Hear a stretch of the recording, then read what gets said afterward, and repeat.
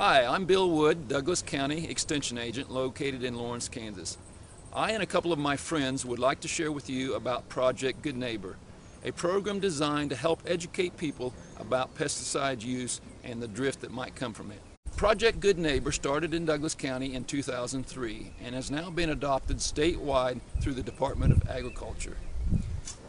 As you can see from this sign, Project Good Neighbor's goals are to help educate people about pesticide use and being responsible with it, protecting sensitive crops from herbicide drift.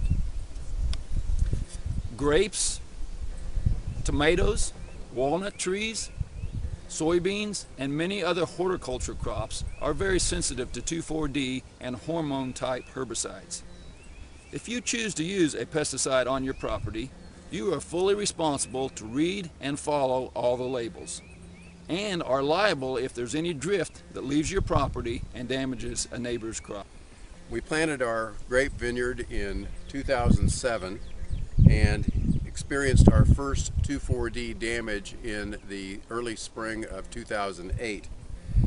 It injured or completely destroyed a third of our vineyard, which is planted to Cynthiana, Traminette, and Steuben varietals.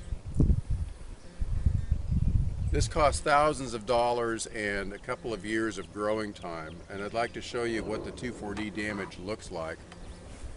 These are leaves that show the effects of 2,4-D. As you'll see, they are distorted.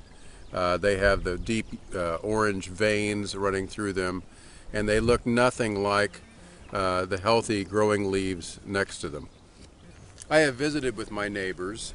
I have registered my vineyard with the state of Kansas and our Douglas County Noxious Weed Department. And I've also put up the Project Good Neighbor signs. I appreciate living in the country and I want to be a good neighbor. Yet someone was careless on this one day this spring, and as a result, it will cost a great deal of money and time in loss to our vineyard. A State Board of Agriculture representative has visited my vineyard to assess the damage and is trying to locate and educate the person responsible. I'm on the Lawrence Douglas County Planning Commission Agritourism Committee, and one of our goals is to help landowners find ways to increase their income. Grapes and other horticultural products are one way that some people may be able to meet this goal. But to do that, pesticide drift simply has to be brought under control in Douglas County. We planted grapes 20 years ago in 1990 and we've had problems with 2,4-D for some 20 years. At first I didn't know what it was, damaging the grapes, but then I started to investigate. With the help of the Kansas Department of Agriculture, K-State, Douglas County Extension, we started a program where we want to help other people learn how to use uh, pesticides responsibly. Uh, specifically for us, it's the 2,4-D 2,4-D hormonal esters. If you use 2,4-D or other hormonal type esters on your yard, pastures, or field, please consider using them when the, it's less likely to cause damage from drift. Here in Douglas County, I think 2,4-D should be stopped at April 15th and or when temperatures reach 80-85 degrees, especially when it's windy. You can start using them again in the fall about mid-October. 2,4-D sprayed in the fall has the best results and you get almost 100% kill.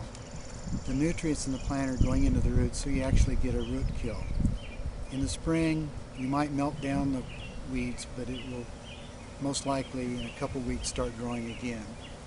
So you're wasting your time, your money, and our livelihood and our crops.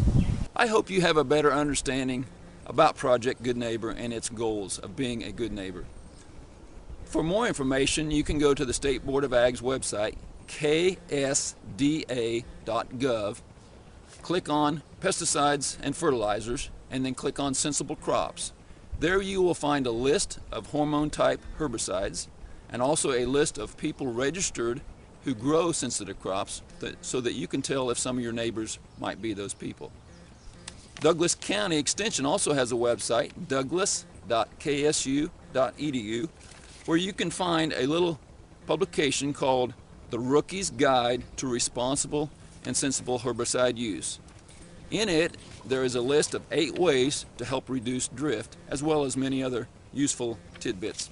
I hope you've uh, learned quite a bit about Project Good Neighbor and will want to put into practice the age old golden rule of do unto others as you would have them to do unto you.